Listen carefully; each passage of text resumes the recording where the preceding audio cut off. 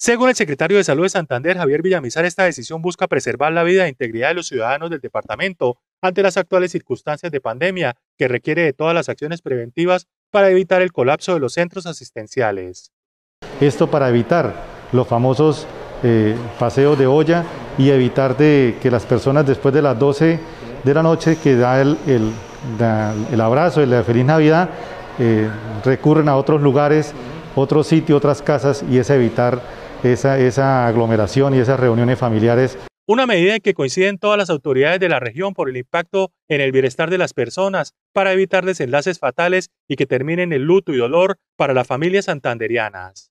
Recordar que los aforos en los establecimientos y centros comerciales no podrán superar el 30%, esto con el fin de evitar aglomeraciones y propagación del coronavirus.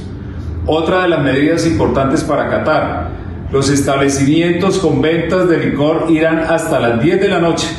Y finalmente, recordar que en Bucaramanga el uso y la comercialización de la pólvora está prohibido. El toque de queda regirá en Santander entre las 11 de la noche y la 1 de la tarde de los próximos 24 y 25 de diciembre y 31 de diciembre y 1 de enero de 2021.